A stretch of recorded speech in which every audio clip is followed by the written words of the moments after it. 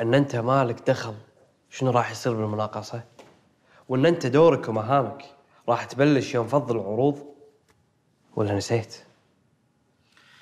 صح. بس من ضمن مهامي بعد إني أكون حريص على سمعة الشركة ومصداقيتها واسمها بالسوق. وحريص بعد على إن المشاريع تتسلم بوقتها وبدون أي تأخير. سوري تصدق لو مكمل شوي كان تأثرت أكثر دمعت عيني. بس اسمع رغم إني أنا أحب ال- الدراما اللي تقدمها لكن أنا مو ناسي مهامك وأعرفها. لكن يمكن أنت تكون ناسي مهامي وصلاحياتي وإن هذه الشركة ملكي أنا وأنا بكيفي.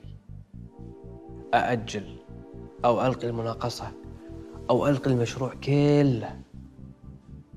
حتى ما أقول الأسباب. واضح؟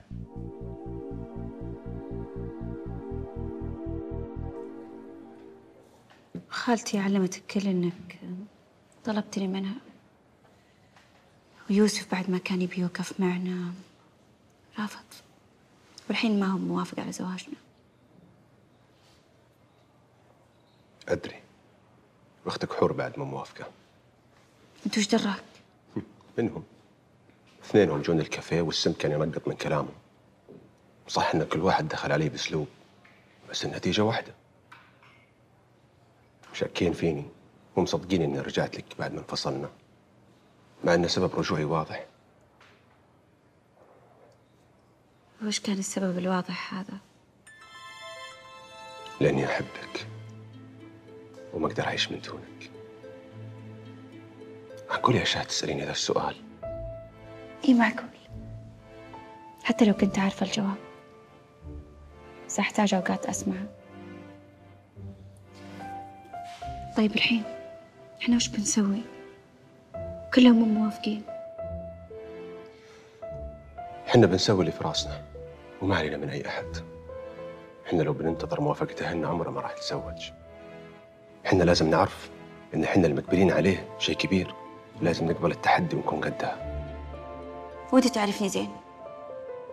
أنا ما أخاف من أحد ولا يهمني أحد. يا سلام عليك. شايف قوتك صوتك العالي هذا. إحنا بحاجته أكثر من أي وقت ثاني. شاهد إحنا حبينا بعض وهذا مو جريمة عشان نتحاسب عليها. إحنا بنتزوج واللي يصير يصير.